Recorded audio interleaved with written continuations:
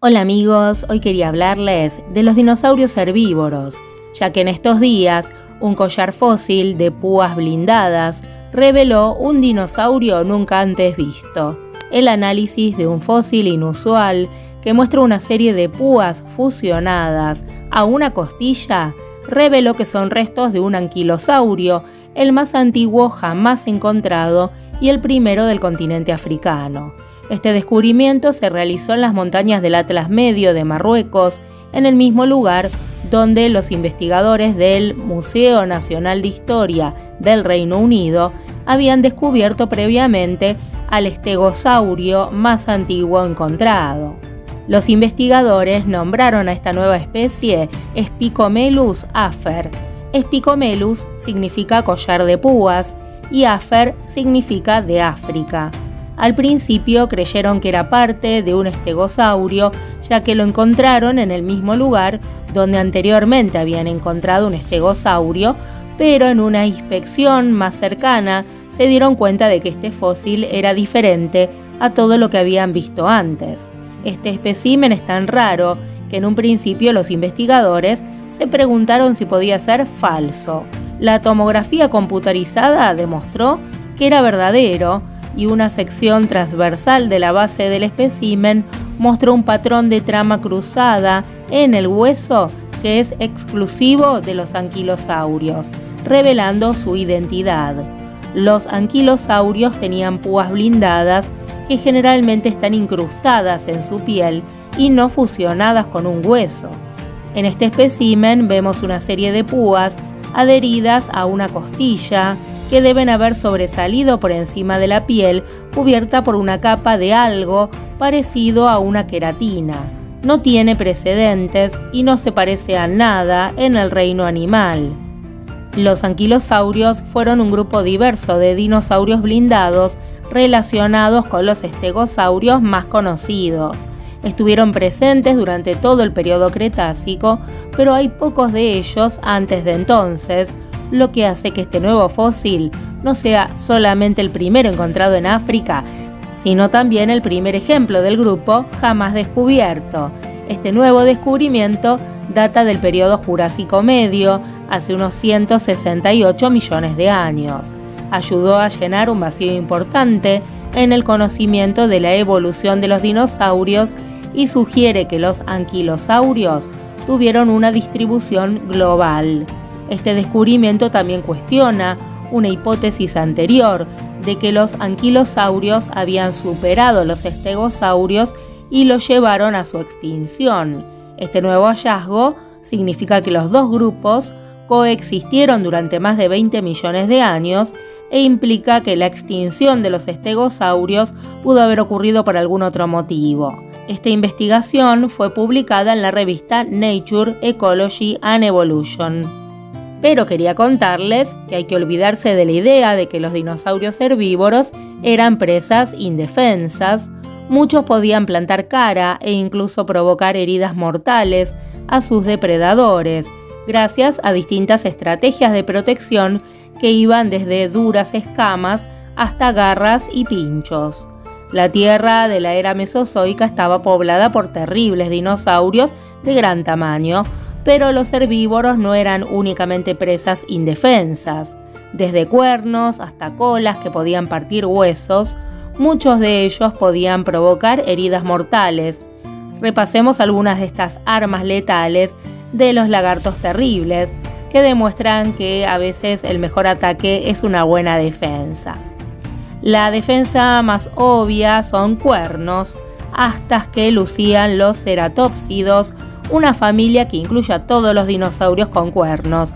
Su miembro más famoso es el Triceratops, pero se han identificado alrededor de 50 géneros diferentes con sus respectivas especies cada uno. Sus características comunes eran los cuernos de distinto tamaño y número sobre la nariz y los ojos, y también un collar óseo que protegía el cuello y que a veces también estaba rematado con protuberancias o cuernos, como el temible Styracosaurus. A pesar de esta formidable defensa, los huesos encontrados tienen marcas que demuestran que eran cazados por grandes carnívoros como los tiranosaurios, pero sin dudas vendían cara su piel. Ser un cabeza dura a veces tiene sus ventajas. Los paquicefalosaurios fueron un infraorden de dinosaurios caracterizados por un hueso craneal de varios centímetros de grosor, a veces rematado con protuberancias. Aunque los estudios concluyen que los usaban en combates contra los de su propia especie para establecer jerarquías y derechos de apareamiento, tal como hacen algunos animales actuales, como los carneros, en caso de necesidad también eran un arma disuasoria contra los depredadores. Difícilmente podrían haber procurado heridas graves, pero el probable comportamiento de rebaño de estos dinosaurios supondría para sus depredadores enfrentarse a un muro de escudos craneales. No solamente importa el arma, sino también saber usarla. Muchas especies de dinosaurios tenían la cola rematada por pinchos o huesos muy duros que podrían funcionar como un martillo de guerra. Entre los de cola de martillo tenemos a los anquilosaurios, que eran auténticos tanques vivientes, gracias a una espalda con protuberancias óseas, o a los estegosauridos, con placas dorsales y colas con pinches, que también tenían una gran armadura. Su potencial letal no estaba en las colas, sino en el impulso que les daban al balancearlas. El golpe podría atravesar la piel y fracturar los huesos de sus atacantes, o incluso, sin ser letal, herirlos gravemente.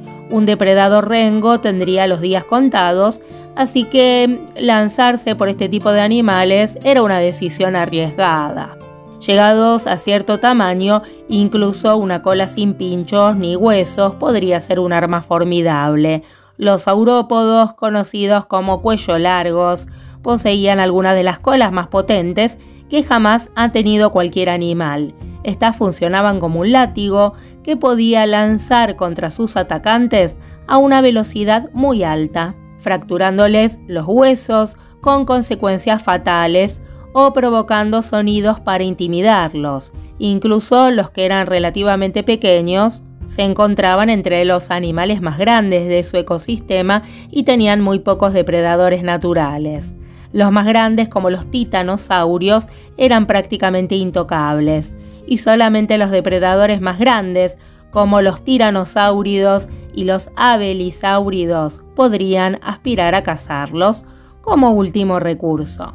Por si la cola no alcanzaba, algunos dinosaurios de cuello largo también tenían espinas que sobresalían de las vértebras cervicales. Se trata de los dicreosáuridos, una familia de saurópodos cuyas especies eran de tamaño relativamente pequeño, similar al de un elefante africano o un poco más grandes. Para compensar esta supuesta debilidad respecto a sus mastodónticos parientes, podían blandir el cuello como un arma de forma similar a la cola de los dinosaurios acorazados. Sin embargo, también era peligroso para el animal porque sus espinas estaban conectadas a las vértebras cervicales, por lo que probablemente fuera un arma más disuasoria que efectiva. Aunque asociamos las garras con los dinosaurios carnívoros, unos pocos herbívoros también las tenían.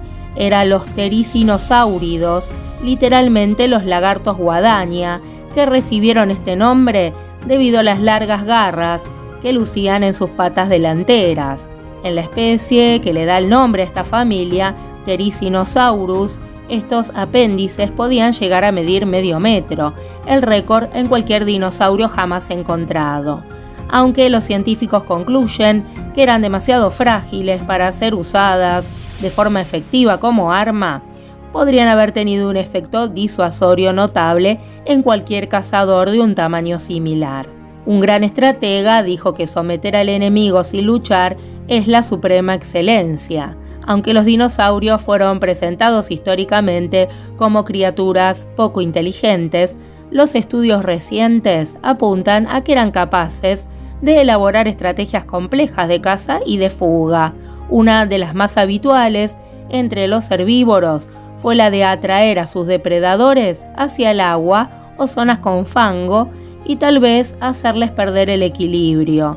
Los grandes depredadores Eran bípedos, a menudo tenían unos brazos raquíticos en comparación con su peso, por lo que al hundirse en el agua o en el fango, esto era una muerte segura. Las múltiples ocasiones en que sus fósiles son extraídos de depósitos sedimentarios, indicando que murieron sepultados, podrían ser una confirmación de esta estrategia. Bueno amigos, si les gustó la información que les traje hoy, los espero nuevamente otro día. Un abrazo muy grande para todos ustedes.